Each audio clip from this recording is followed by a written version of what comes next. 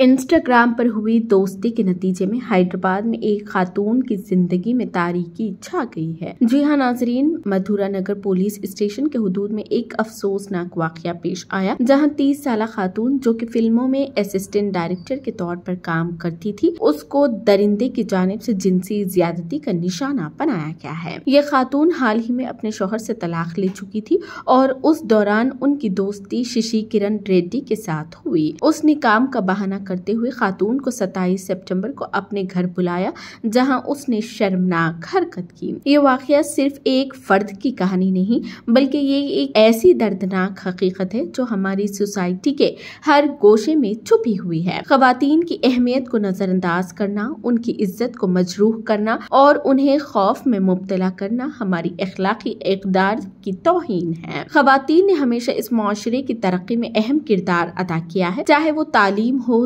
صحت ہو یا معاشرتی خدمات۔ ان کے بغیر ہمارا معاشرہ نامکمل ہے۔ ہر خاتون کو عزت، محبت اور حفاظت کا حق حاصل ہے۔ لیکن اس واقعے نے یہ سوال اٹھایا ہے، کیا ہم واقعی انہیں وہ تحفظ فراہم کر رہے ہیں جس کے وہ حقدار ہیں؟ خاتون نے جس بہادری کا مظاہرہ کیا وہ قابل تعریف ہے۔ انہوں نے کسی طرح سے وہاں سے نکلنے کے بعد پڑوسیوں کی مدد سے پولیس کنٹرول روم کو فون کیا۔ یہ ان کی ہمت کی مثال ہے کہ انہوں نے اپنی آواز بلند کی اور اس درندے کے خلاف کاروائی کرنے کی ہمت پیدا کی۔ پولیس اس پورے معاملے کی چھان بین کر رہی ہے اور امید ہے کہ انصاف جلد ملے گا۔ یہ واقعہ ہمیں یاد دلاتا ہے کہ ہر خاتون کو عزت و وقار کے ساتھ جینے کا حق ہے۔ ہمیں مل کر اس کے تحفظ کے لیے آواز اٹھانی ہوگی تاکہ آنے والی نسلیں بھی ایک محفوظ اور باعزت معاشرے میں جی سکے آئیے ہم سب مل کر اس عزم کا عہد کریں کہ ہم خواتین کی عزت کریں گے، ان کے حقوق کا تحفظ کریں کریں گے اور ان کے ساتھ ہونے والی ہر ظلم و ستم کے خلاف آواز اٹھائیں گے۔ یہ صرف ایک خاتون کی کہانی نہیں بلکہ ہر خاتون کی کہانی ہے۔ اسی طرح کی لیٹسٹ اپڈیٹ کے لیے آپ بنے رہیں شما نیوز کے ساتھ۔